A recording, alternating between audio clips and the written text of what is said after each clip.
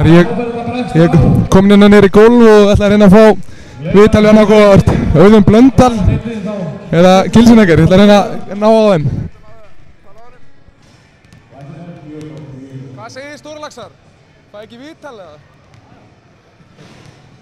Hvað segir ég? Ég er komin hérna með fyrirlega Celebs-liðsins, þú kannski veifar hann upp í myndælinu, þú ert í beinni núna. Hvað segir þú, hvað klikkaði ykkur í dag? Bara þessi klikka var bara, þú veist, ég er einn maður sko, veist, og ég, það eru fimm inn á einu. Ef ég gæti klónað mig, þú veist, á vöndu pakka þessu leik saman. Við vorum bara með farþega inn á vellinum, Hjöppi, Hjöppi og þungur. já, Hjöppi og Gummi beðin allt of þungir. Þú veist, bara íþróttafréttamenn er allir spikveit. Já, það, og ekki nógu mikil fótastyrka þá, eða hvað er að klika? Ég meina, málið er bara, þetta er bara menn sem eru með all lóðrétt niður þessu. Jókumann, þú veist, það er bara verið að skeina á honum núna inn á, á salerni, sko. Það er bara búið að gera niður um hann og verið að skeina honum. Mikla flottu þristur að þér, klín, ekki spjaldar eins og þetta. Nei, málega ég sett hann í spjaldið fyrra, mér fannst þá meira töff í fyrra, að nota spjaldið. Núna ákvæði ég bara að nota clean, sko.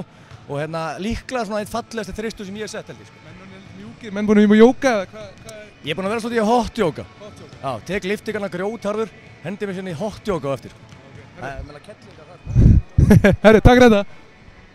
Herri, þá